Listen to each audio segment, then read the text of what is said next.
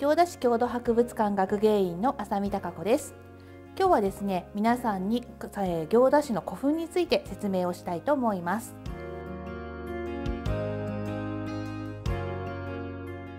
え行田市は埼玉古墳群が何よりも有名なんですけれども埼玉古墳群以外にも実は有名な古墳が数々あるということをご存知でしょうか。今日はですね行田市の中でも利根川沿いにありますえー、坂巻古墳群という古墳群についてご説明をしたいと思います。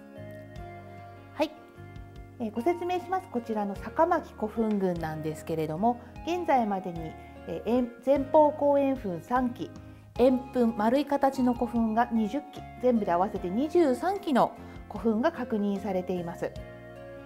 大体古墳が作られていたのが6世紀の後半から7世紀頃にかけ7世紀の前半ぐらいにかけて埼玉古墳群よりも少しタイミングが遅れて作られ始めた古墳群ということになります。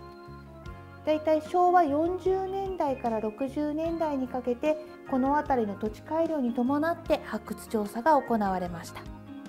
この坂巻古墳群から発掘された埴輪たちなんですけれども非常に良い状態で発掘された埴輪が多いということで知られています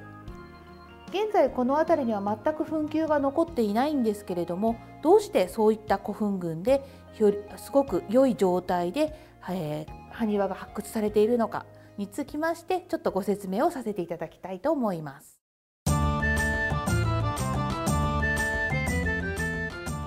高巻にある古墳なんですけれども利根川がありまして、え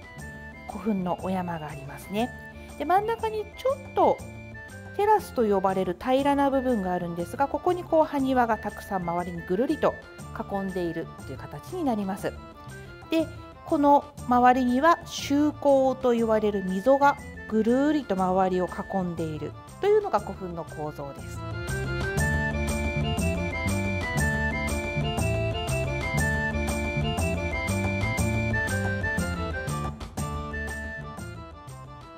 こういった古墳なんですけれども、えー、な作られてから長い年月が経つうちに、えー、周りに並べられていた埴輪は壊れてしまったり倒れてしまったり中にはこの周りの溝の中に落っこっていってしまう埴輪というのもあります。こうして古墳はどんどん形が崩れていくんですが坂巻古墳群の場合はこういうこういった形で埴輪がどんどん転落していくよりも早い段階で実はどんどん埋まり始めていってしまったんです。坂巻古墳群が早く埋ま早くに埋まってしまった理由としましては実は2000万年前ぐらいから始まっていた関東平野を作る関東増盆地運動という地殻運動の影響があります。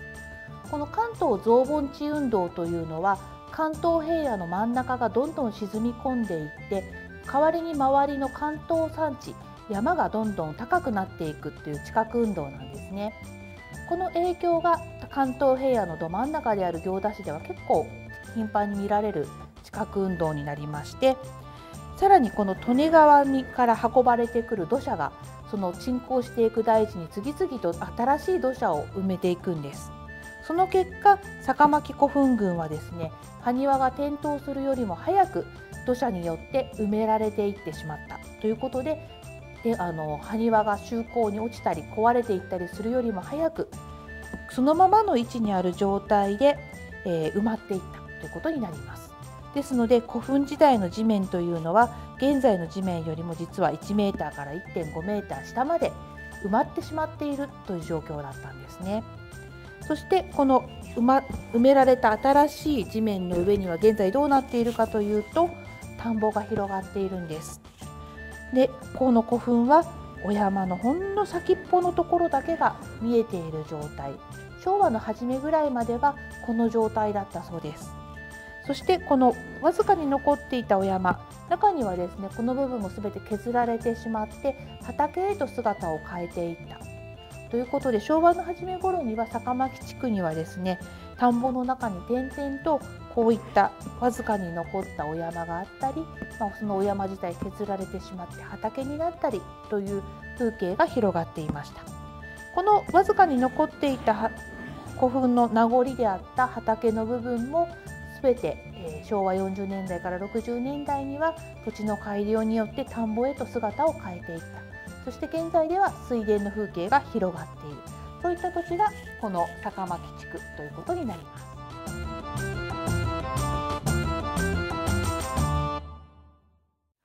はい、このように地下に眠り続けていた坂巻古墳群の埴輪たち。その中でも今回は坂巻14号墳の埴輪をご紹介したいと思います。坂巻14号墳はこの位置にあるんですが丸い形をした円墳でした。こう丸い形の古墳の中に調査が行われたこの範囲とこの細い調査範囲の中から埴輪が大量に出土したということになります。掘られたのはこのわずかな範囲なんですがそこのところにはですねそのままの位置で埴輪が出土していましてぐるりと円墳を囲む形で埴輪が出てきました。非常に残りが良くてですね、まあ、馬はこのように壊れてしまってはいるんですがそのままの形で埴輪がどこ破片がどこにあるかを復元することが可能です。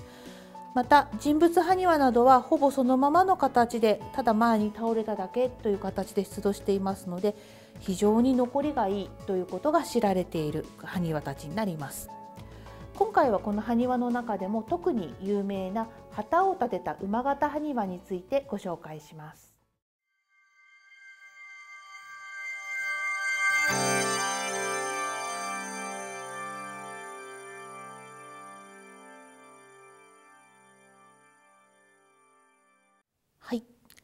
こちらの埴輪が坂巻十四興奮でも最も有名な埴輪旗を立てた馬形埴輪という埴輪になります。平成19年度に、えー、国の重要文化財に指定を受けました。この旗を立てた馬形埴輪なんですけれども、えー、まあ田んぼアートの素材になったりまたラッピングバスの中に姿が描かれたりしているので市民の皆さんはどこかで見たことがあるかもしれません。この埴輪ですね一番の特徴は何といっても旗を立てているということなんですねえ馬の型の埴輪というのは日本全国の古墳でよく出てくるものなんですが旗を立てた姿で確認されているのは日本全国でこの馬ただ1点だけということになります日本でただ一つの埴輪ということになるんですね。えー、この旗を立てた馬型埴輪一番の特徴であるこの旗の部分旗を受けている部分がくにゃっと曲がったラッパのような形をしています。この部分がですね蛇行状鉄器蛇行運転の蛇行という字を書くんですが蛇行状鉄器と言いまして実際のバグとして、えー、出土することがあります。近いところだと埼玉古墳群将軍山古墳の中から実際のバグとして出土しているんです。そしてそのバグ出てきた時にはですね何に使うものだかわからなかったんですがこの埴輪が出てきたことによってそれが馬の蔵の後ろにつける部品であって旗を差し込むものだということが分かったというそのバグの使い方を証明するただ一つの埴輪として非常に価値が高いんですね。坂巻古墳群の埴輪よく見てみますと、えー、よくある馬形埴輪に比べてすごく足が長くスラッとしているというのが特徴の一つです。バグもすごく、えー、丁寧に作り込まれていましてその様子を伺うことができます。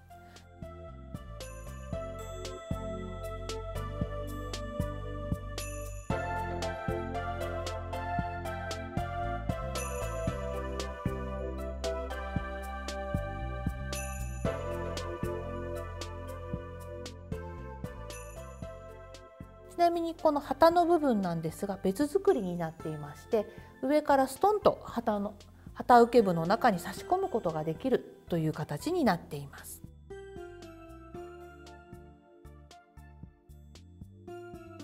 はい、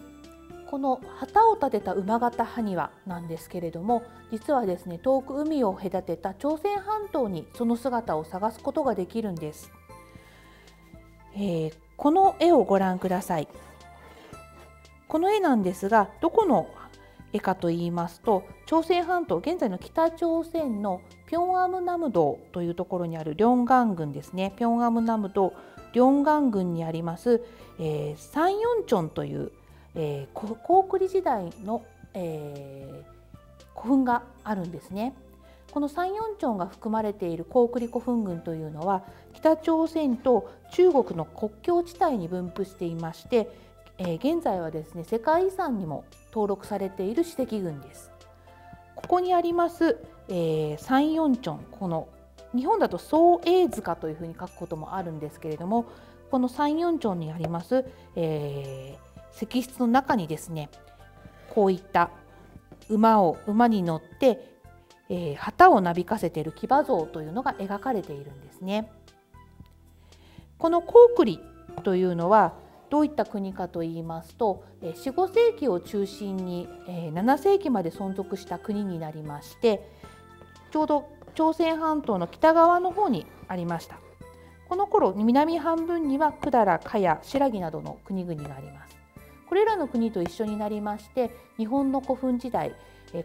日本との間で人や文化の交流が行われまして非常に互いに影響を与え合っていたそういった国の一つになります。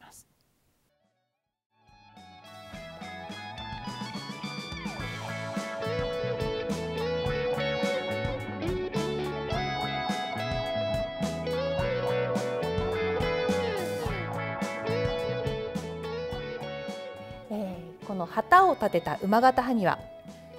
海を隔てた文化を伝える渡来文化の象徴として現在知られています。どうしてこの行田市の中にこういった海を隔てた渡来文化が残っているのか。こういったことを考えていきますとこの当時行田市内で活躍していた皇族たちの活躍どういった活動をしていたのかということを考えていく上で非常に重要な資料となっていくと考えられています。